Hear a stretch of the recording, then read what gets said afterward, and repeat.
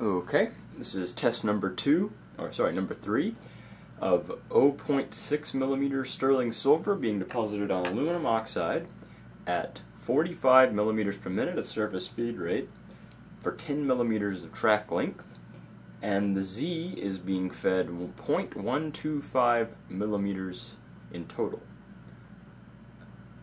Uh, and spinning at 30,000 RPM. The tool, the material is spinning at 30,000 RPM.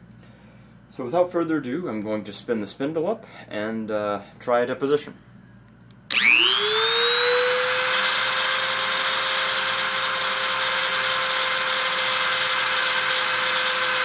Contact.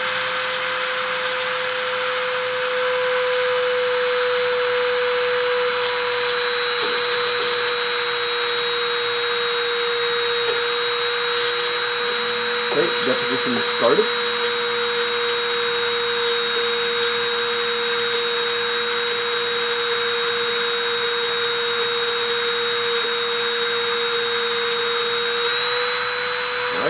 Symbol off, video complete.